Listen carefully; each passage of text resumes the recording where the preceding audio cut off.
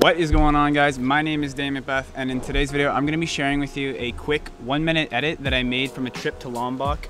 Rasmus Mikkelsen, his girlfriend Laura and I took about a month ago to the island called Lombok which is a neighboring island of Bali, Indonesia, which is where I am right now. But before I show you that video, I want to give you a quick update on what I've done over the past month and what I'm going to be doing over the next few months. Over the past month was my first month in Bali doing photos and videos for the Mikkelsen twins. I'll link them in the description down below. You can check them out. Their most recent 10 videos are all done by me, edited and filmed. And then over the next three months, we're gonna, I'm gonna be in Bali for the next month and then we're going to Berlin and then we're going a week later we're gonna be in Croatia and then after that we're going to Denmark and then Iceland. So it's gonna be a very eventful next three months but I'm super excited for it. I can't wait to create a bunch of awesome content in all those different places around Europe and in Iceland and then I'll be back in Canada around mid-August. So it's gonna be lots of fun. I'm super excited but that's enough talking. Let's get into the video. But before we do that make sure you like and subscribe to my channel and uh, let's just get right into it